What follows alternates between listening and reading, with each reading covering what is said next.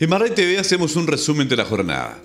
El reciente fin de semana, día 19 de junio, día domingo, fue un día de la civilidad. Fue un día en donde la democracia se expresó a través del voto voluntario, aunque la abstención fue bastante alta a nivel país, no fue menor acá en la región de Atacama.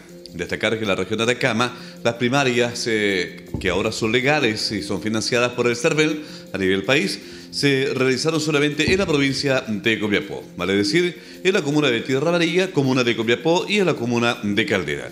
En la comuna de Tierra Amarilla resultó vencedora Magali Cortés Mercado. Allí las primarias solamente fueron de Chile Vamos. Hubo dos candidatos y resultó ganadora Magali Corte Mercado.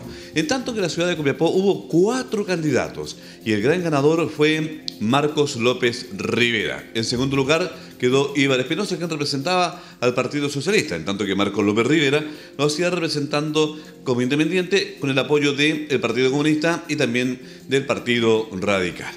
Señalar que en el puerto de Caldera, en tanto, Brunilda González Ángel, ex de salud de la región de Atacama, resultó ser electa por la nueva mayoría para participar de las municipales en el mes de octubre del año 2016, es decir, del presente año con una amplia mayoría de votación.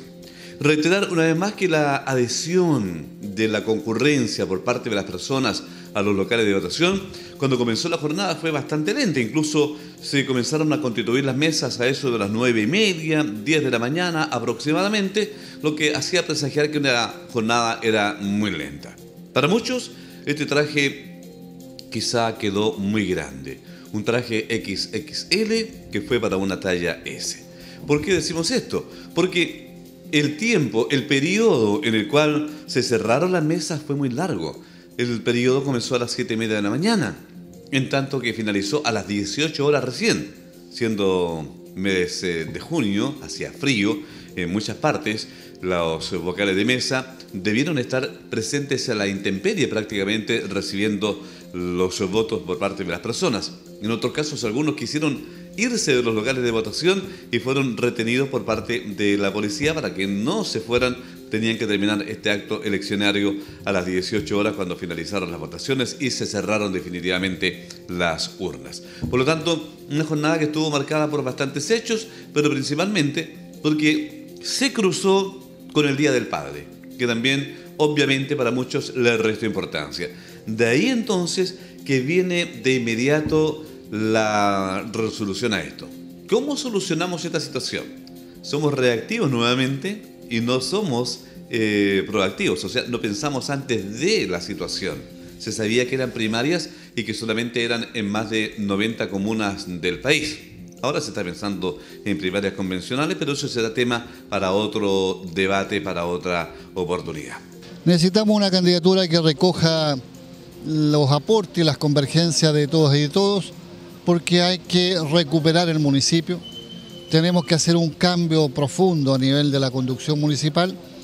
Es lo que reclama la ciudad, la calidad de vida de la gente y por ello estamos desde todos estos días jugándonos para que tengamos una digna participación en esta primaria y definamos holgadamente quién será la voz que nos represente.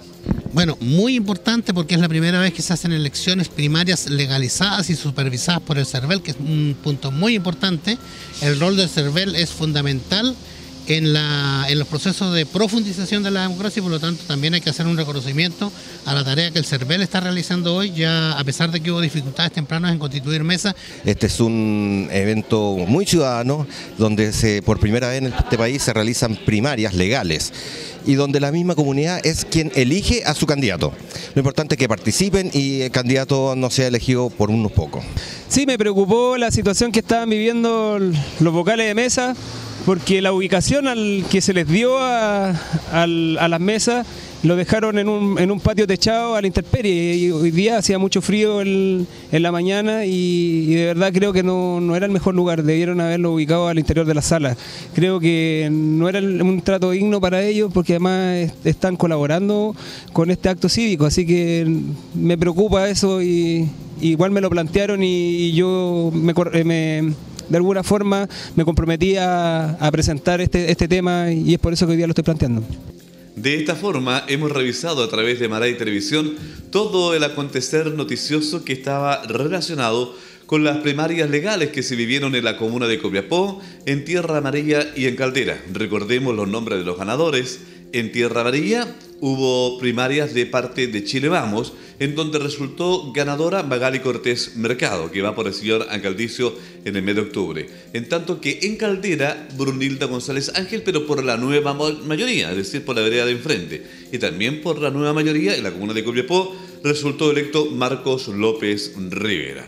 Entonces, hasta acá este resumen que hemos entregado a ustedes por parte de Maray Televisión de todo el acontecer que se vivió el día domingo 19 con motivo de las primarias legales financiadas por el CERVEL en nuestro país y en donde la región de Atacama no estuvo exenta de aquello, aunque la cantidad de personas que fue fue muy poca. Hay que analizar. Tema para el debate. ¿El voto debería ser obligatorio? ¿Qué pasó? ¿Qué es el análisis o qué es lo que queda al final del día?